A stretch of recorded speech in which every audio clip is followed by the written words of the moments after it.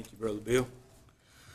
Well, I want to invite you to turn in your Bibles, if you would, to Matthew chapter number 9. Matthew chapter number 9. It's been a couple of weeks since we've been in Matthew chapter number 9, or I guess this is the second week that uh, we're getting back into it.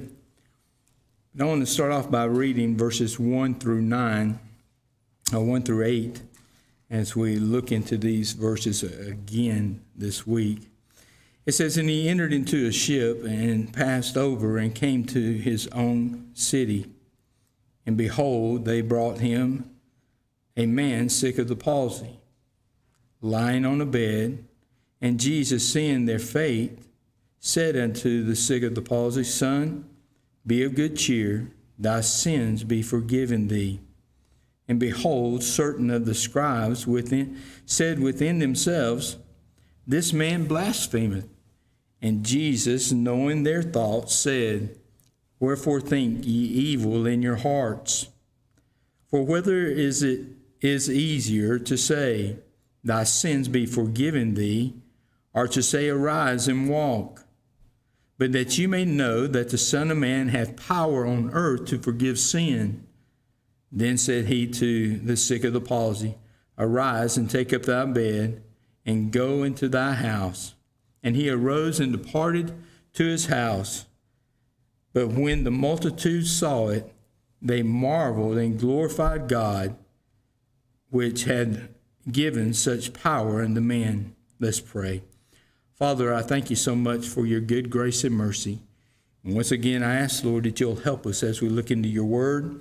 And Lord, I do humble myself before you, realizing I'm just a man in need of a touch from thee. And Lord, we love you. We want to serve you and do the best we can for you. Ask, Lord, that you'll bless and have your way as we study your word. In Jesus' name, amen. Two weeks ago, we looked at uh, this gentleman that has the palsy and how he could not go anywhere. He was bore on, a bed by four others that that uh, that carried him to Jesus. There's no doubt in his mind. We discussed that that his desire was to to be healed. But it was not just a physical healing that he was looking for, but he was looking for a, a healing from his sins. You say, How do you know that? Because his very disease was that by which man called sin. Because he was in the condition that he was in, he was considered a man of, of sin. That he had been, that he was a sinner, that he had done something tremendously wrong, and God had judged him and made him uh, to be in the position that he was in. You say, How do you know that, Brother David? Well, the Bible says that, that Jesus' disciples was talking about a blind man one day and said, Is this man blind because of a sin that he's done or the sin of his fathers? And it was neither one. He was blind for the glory of God, and God was going to do a great miracle for. But the attitude of that day was that if there's something wrong with you, you are a sinner and you, you had sinned a great sin before God. And surely he held in this understanding of his own condition as he was bore there by these men. His desire was to see Jesus. But when they got to the house, what an impossibility. I mean, I want to tell you something. We talk about reunions having 50 people around, but can you imagine Jesus being in a house healing people, and the multitudes of those people coming from miles around, following him from everywhere he went. I mean, he was he was on one side healing people, and then he'd cross over to the other side, and it says that little boats followed him over there, and now he's gone back to the other side, and surely little boats followed him back over there, and, and you're talking thousands of people that were around that little house. And these four men come bearing this man on a bed. Could you imagine uh, the World Series in Atlanta. I mean, it's taking place, but can you imagine coming to the place where the traffic starts? To the Brave Stadium. And you've got to get in there because in there is all the hope that you've ever had in all your life. But you're like 20 miles from the stadium and the traffic is bumper to bumper.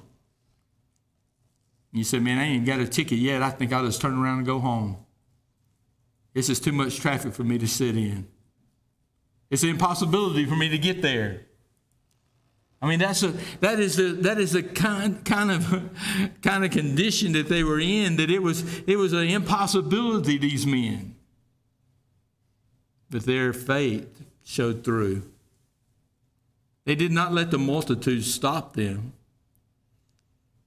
Matter of fact, they went up to the top of the roof. We, when we think about going up to the top of the roof, we think about just some nice stairs that lead up to, to a building on the, on the side or in, inside of a house that leads all the way up to the top. Probably it was on the back side of that house. They had a, a, a, a, ladder that was leaned up to the, to the back of it that led all the way up to the top of it. And as those men dragged that man up that ladder to the top of the roof, like they were, their endurance was to get him to Jesus. It, it, I mean, it was, it was so important for them to be able to do that that they were willing to go through whatever it took to get him there. Sad today that the world's dying and going to hell, and, and we won't even give out a tract. We worry about all the things that we've got to get done today instead of what we ought to be telling people. But these four men showed a great faith. Now, I want you to realize that in the midst of all this, there's not a word being said. The four men that are, that are there, they're not crying out to Jesus, Jesus, this man needs to be healed.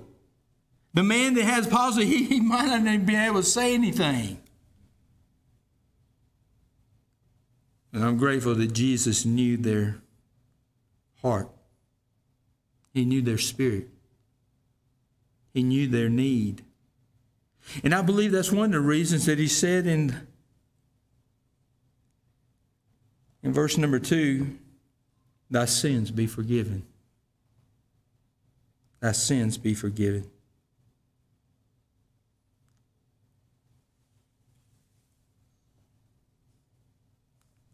What a remarkable understanding. as we look at the heart of these men, the heart of him that was sick, and the heart of the scribes that were there standing by. And the thing about it is, Jesus could read everybody's heart there. He knew the, the desire of the man that was in the bed was to be forgiven. I believe that's why he said it so the man would know that his sins were forgiven. Not that he was just physically healed, but his sins were forgiven. The Pharisees, he read their heart too. So we sell their faith as they journeyed up. But then we come to another word that I want us to look at tonight, and that's the word forgiveness. Forgiveness. Thy sins be forgiven. The request, before it was even asked, was made.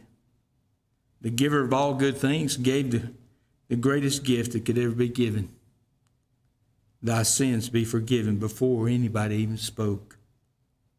The remission of sins that the Bible talks about, this is a salvation. The forgiveness, full and complete. He said, forgiven. And when the Lord said that, our, his, their sins went away, or his sins went away. You know how far they went? As far as the east is from the west. He buried them in that sea. Psalms 103 says that he remembers them no more. Aren't you grateful for that? I like what Paul said, whom hath before whom was before a blasphemer and a persecutor and an injurious, but obtained mercy. This is a faithful saying and worthy of all expectations that Jesus Christ came into the world to save sinners, of whom I am chief. Forgiveness. When missionaries went to Alaska, they took the gospel. But in the Eskimo language, as they desired to translate the Word of God into their language, they come across a great problem. They found that there was no word in the, in the uh, Eskimo language to say forgiveness. And they were stuck. They had no understanding of how to, to, to relay the Christian message because the Christian message is that of forgiveness. But they found that in, that, in the Eskimo language, there was a very interesting phrase. It was, it was a one word phrase. And when I tell you it's a one word phrase, this word is about like this long. I'm going to I'm going to attempt to, to say it just so you can understand how long this word is.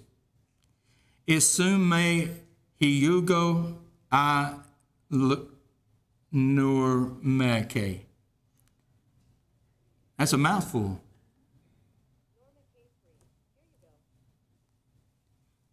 But he they they found this word. And this word was not just a simple one word, it was a phrase and this phrase was a word that was used in the Mexican, I mean, in the, in the Eskimo language, and it meant not being able to think about it anymore. And everywhere throughout the Bible that where they translated forgiveness, they would put this word. And it, re- it relayed to them that their sins in God's eyes was not thought about anymore and that was forgiveness for them.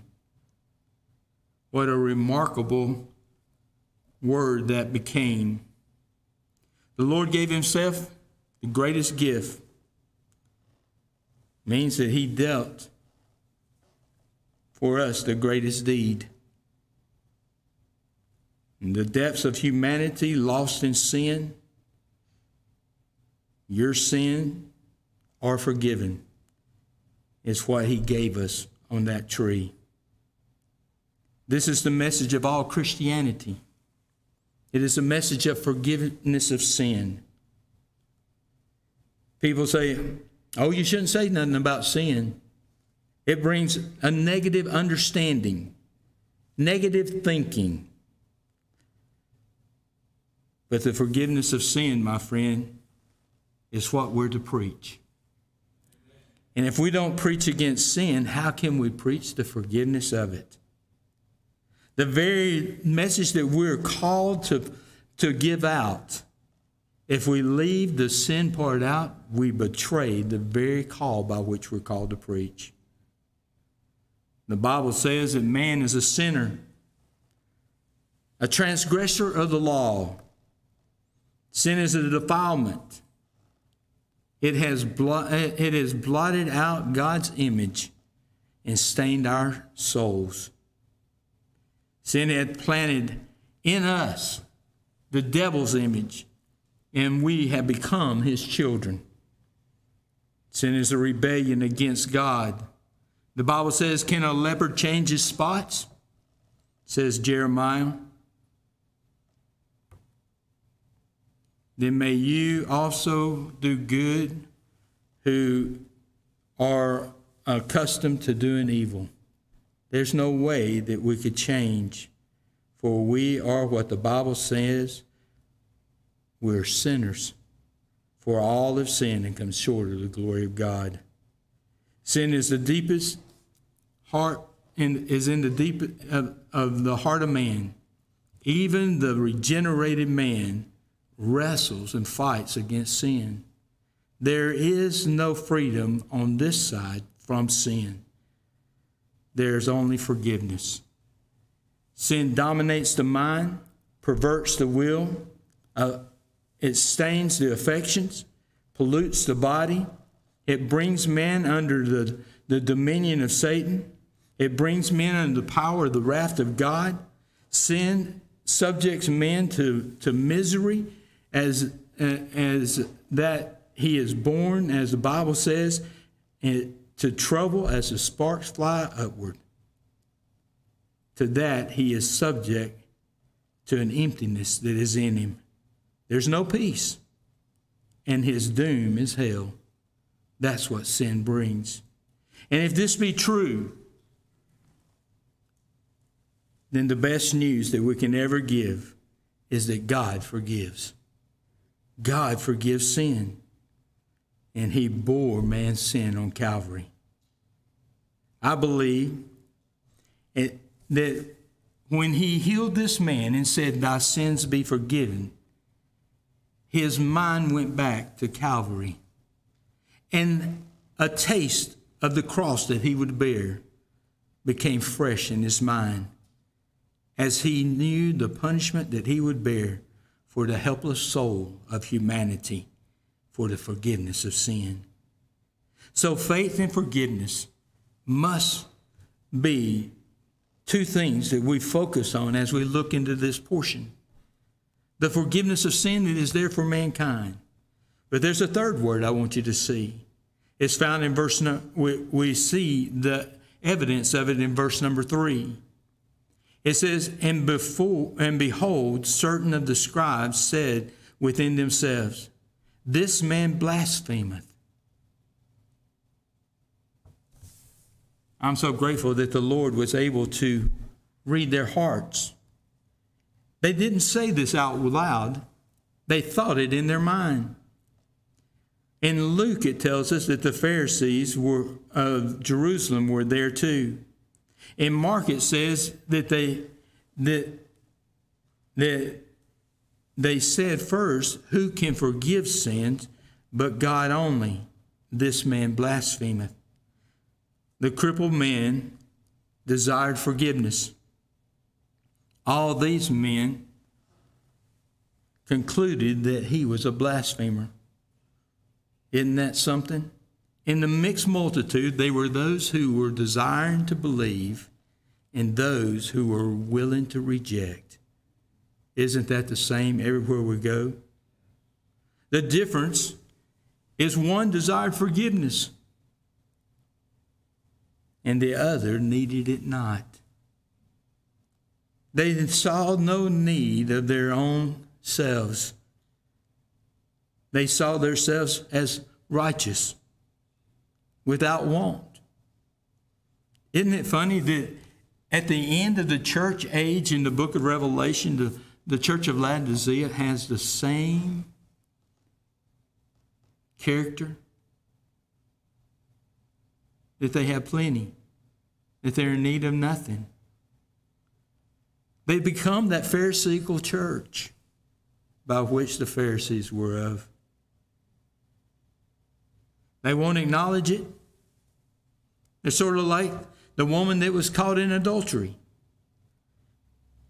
That as they brought her to Jesus, the Pharisees and scribes were there, and Jesus offered forgiveness. Not just for her, but for also for them. For their sins were placed on, on trial that day too, as he said, Ye that sin not, cast the first stone. But each one of them left, not receiving forgiveness of their own sins, turned in shame and left that place. But there was one there that stayed. The Bible says that Jesus said, Go and sin no more. She found forgiveness that day.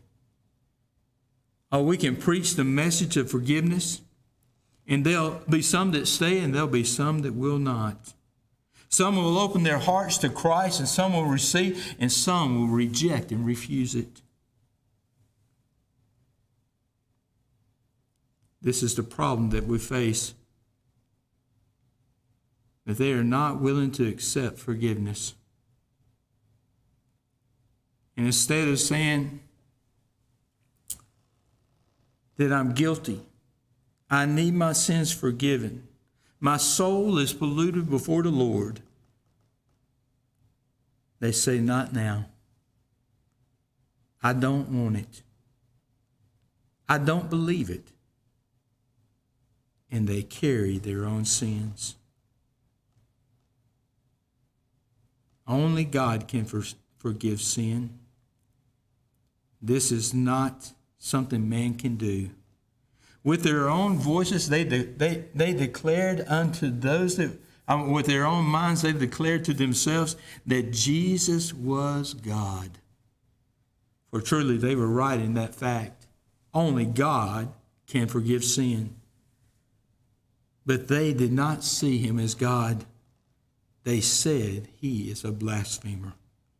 And yet, that man took up his bed and went home.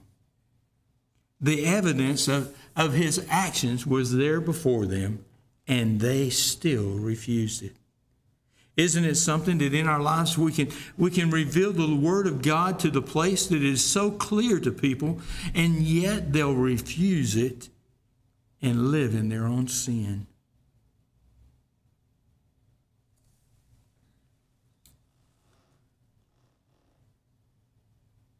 God's the only one that can forgive sin. Isaiah 43 25 says, I, even I am he that blotteth out thy transgressions for my own sake.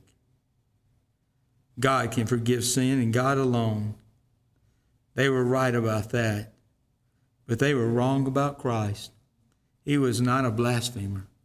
He was being declared the, the uh, Messiah, the Son of God. God Himself in flesh was there with them. Now, if you'll notice with me, and at verse number three says that they said it within themselves, even their hearts being read, and God and, and Jesus revealing their thoughts did not ring them true in their minds to say, We didn't say a thing, and yet we thought it. This marked that he was God that he was able not only to heal, but he could read the minds of those that were there.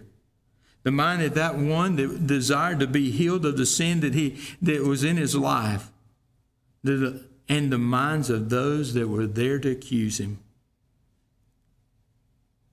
When they said, This man blasphemed, they were just building the fire by which ultimately would lead to the crucifixion of Christ.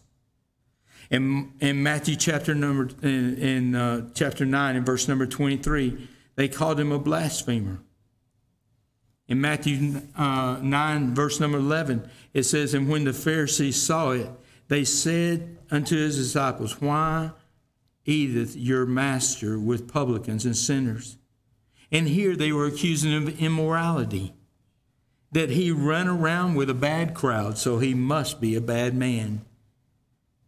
He's a blasphemer. He's immoral.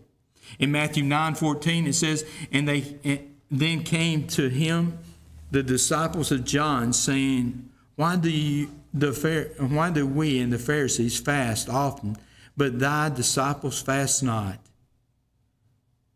They came to him, his disciples, and they were accusing him of being irreligious. They were not fo- that you're not following the normal uh, protocol. You're not following the normal procedures of religion. So they accused him of being a blasphemer, of an immoral person that ran around, and that one that would not form to the religion that was at hand. This was that case that the Pharisees was building against Christ. And then when we come to Matthew chapter 9, verse number 34, the Pharisees describe to him, it says that, they that he cast out demons through the prince of, of the devils. Can I tell you their fury had mounted They had come to a place where, where, where they were filled with fury against him. What a contrast. On one hand, there's faith and forgiveness. And on the other hand, their fury.